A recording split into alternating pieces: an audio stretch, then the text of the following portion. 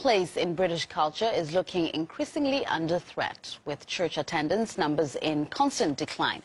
Now, meanwhile, the country's second largest religion, Islam, is growing faster than ever, with some studies suggesting it's on the way to becoming the dominant faith. RT's Polly Boyko has the story.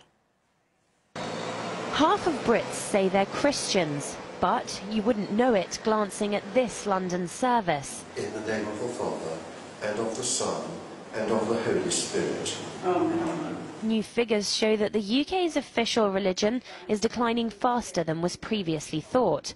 Worshippers are aging, and for the first time ever, fewer than half under the age of 25 describe themselves as Christian. The decline of churches in the UK is long term. It just happens to be now approaching really rock bottom. So 95% of people don't attend a church on an average Sunday. While the Church of England struggles, the Office for National Statistics says that the number of Muslims in England and Wales has surged by 75%. And they're young.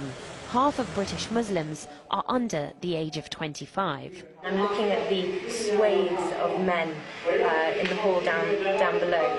What is it that draws them here? That's the big question. Motivation theory is very, very different for different people. Islam's family values are very well bonded, and uh, families really try to nurture young people in the in the fold of Islam. We have more than 50% congregation from the young people because um, uh, we try to deal with the young people's issues, so they feel part of the mosque uh, establishment. Religious think tank The Pew Forum estimates that if present trends continue, the Muslim population of the UK will swell to almost double within 20 years, totalling 5.5 million. According to these figures, it means that by 2030, Britain will have more Muslims than Kuwait. It's projects such as this community-based Muslim radio station that could provide the clue as to why the religion is flourishing in the UK. In that booth, DJs who call themselves brothers and sisters talk about local issues and education from the point of view of Islam.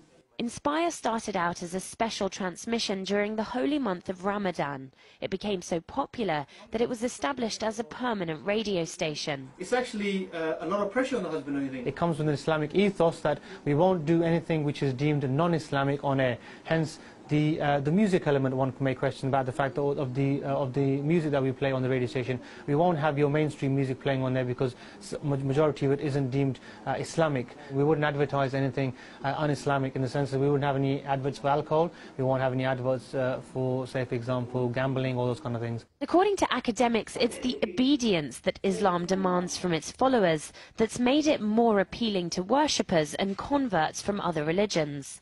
Islam says no this is no and full stop. And people find a sense of direction in it. Because their religion of origin has lost that, not because that it didn't have it in the first instance. They sort of became lenient in relation to the laws uh, of the church and uh, thinking that in this way they would make it more mellow and softer and attract more people into the church. And in fact, they've lost people something that the Church of England disagrees with. They claim that the death of Christian England has been greatly exaggerated and that the statistics don't reflect the true faith of the population.